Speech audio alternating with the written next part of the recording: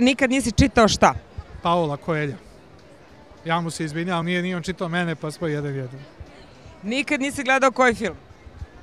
Pa sve filmove koje nisam gledao, ali ne da nisam nikad gledao, bilo mi je strašno krivo što nisam gledao kao mali film Diverzanti, davo se na televiziji i to je bilo strašno kasno, nešto oko pola 9-9 i mama me otjerala u krevet i nikad nisam gledao prvi put Diverzante, ovo sve posle je bilo drugi, treći put i to nije isto, to je čuveni film Šibe Krvavca.